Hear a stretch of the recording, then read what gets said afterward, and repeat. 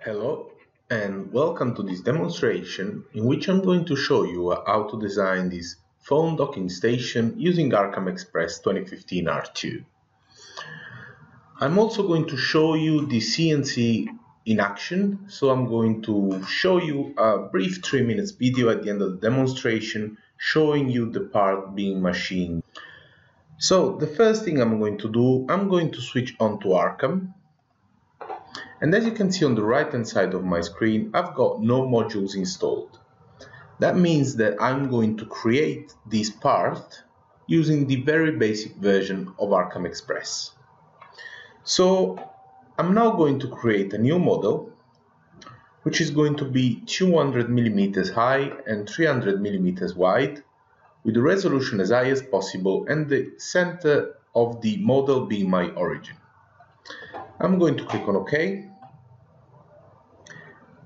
And I'm now going to show you that creating four rectangles and typing one letter we can basically create all of the vectors that we need to then machine the part. So I'm going to enter the create rectangle tool. And this rectangle is going to be 240 millimeters in width and 120 millimeters in height with a corner radius of 12 millimeters. So if I click on create, I can keep creating rectangles without closing the form down. So the next rectangle is going to be 72 by 12, corner radius of 2 millimeters this time, and centered in 0, 45. So this will be the slot for our phone.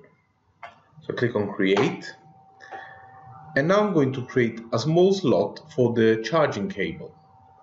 So this is going to be 9.2 millimeters wide and slightly more than 6 millimeters high, so say 6.1, with a 1 millimeter corner radius and centered in the same place. Finally, we need to create, as you can see in the image, this big pocket here. So we could create it by creating two circles and then we could join them with polylines, but the quickest way of doing it is by creating another rectangle which is going to be 220 by 66 with a corner radius of 33 so basically half the height to a fully rounded edges. This time this is going to be centered in 0 minus 17 so if I click on create I can now close the form as I'm done with my rectangles and the last thing I'm going to do is to create my text so just one letter in our case so I'm going to enter my text vector creator tool. You can choose the font you prefer. I'm going to go for art script and the size is going to be 30 millimeters. Now we're not interested in the character spacing because we're only going to type one letter. So I'm just going to click anywhere and I'm going to type A. Click on create. But obviously we want this letter to be in the center of our pocket. So I can now shift select my pocket and click on my center vector icon, like so. So before we start to create toolpaths for this, um, the reason for creating this lot being 6.1 millimeters in height, so slightly more than 6, that I'm assuming that I've only got three tools available uh, a 10 millimeters end mill, a 6 millimeters end mill, and a 32 millimeters 120 degrees V-bit carving tool. So for all of the toolpaths I will create, I will only use those three tools. So I can now switch to the 3D view because I'm done with my 2D design and I can start to create toolpaths. So I'm going to select a view from the top and the first toolpath I'm going to create is my profiling one, the one that I will use to cut the part out of my block of wood. So if I click on the vector, the most external one, I can click on toolpaths and select a profiling one. In this case, I want to profile outside the selected vectors. And first of all, let's set the material to be 30 millimeters thick, with the materials at zero and the model position in the material to be on top of my block. I can now select my finish depth, which in this case is going to be 30, because I want to profile all the way through, and I can choose my profiling tool. So in this case, I'm going to use the first of the tools I've got, available, so a 10 millimeters end mill. If I'm happy with this, I can click on calculate now, and as you can see the toolpath has been calculated.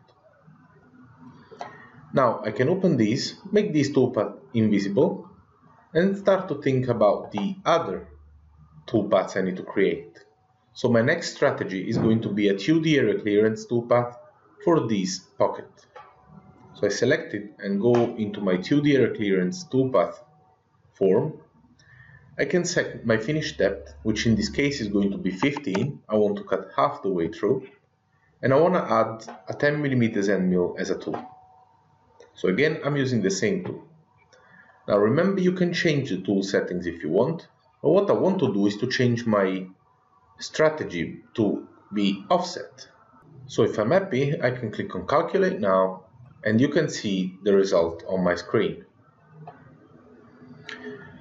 So we now need to think about these two slots and obviously we're going to use the smaller end mill we've got available so our 6mm end mill so I can click on this phone slot and enter the area clearance toolpath again select a finish depth again of 15 add my tool so a 6mm end mill and I want to change the strategy to offset again and I can now click on calculate now.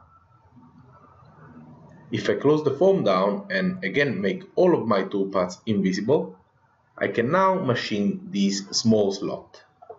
Again, area clearance. This time the start depth is going to be 15 millimeters. I don't want to waste any moves and I know that I've already cut 15 millimeters deep. But in this case, the finish depth is going to be 30 because I want to cut all the way down to the bottom of my part. My tool, as I said, is going to be my 6mm end mill. And again, I want to change the strategy type to be offset. I can click on calculate and the toolpath would calculate as you can see. Last thing, we want to engrave this letter. So if I click on my A, I can choose a V-bit carving toolpath. I want to machine the selected vectors with a start depth of 15. Obviously that pocket was already cut 15 millimeters deep. And for my carving tool, I'm going to choose the third tool I've got available. So my 120 degree 32 millimeters carving tool. I can now click on refresh here to see the maximum width and depth of cut. And I always prefer to have my maximum depth to be slightly more than 1 millimeter. So if I click on calculate, the toolpath is calculated and you can see if I select a view from the side and make the other toolpath invisible, that the tool goes up and down to give that carved effect to my letter. So we can now simulate all of our toolpaths. Right click on toolpaths, simulate all, and we can see how this looks like. So it looks nice, but there's one thing I want to add, and I want to show you is how to add chamfers to our part without any complications. So what I'm going to do is to select a view from the top, select my outermost rectangle and offset it. So enter my offset tool, offset these by 2 millimeters outwards with radius corners so if I click on offset, my copy will be created. Now without closing tool, I'm going to create a copy of this vector here. So if I select it, I want this vector to be offset by 2 millimeters inwards, like so.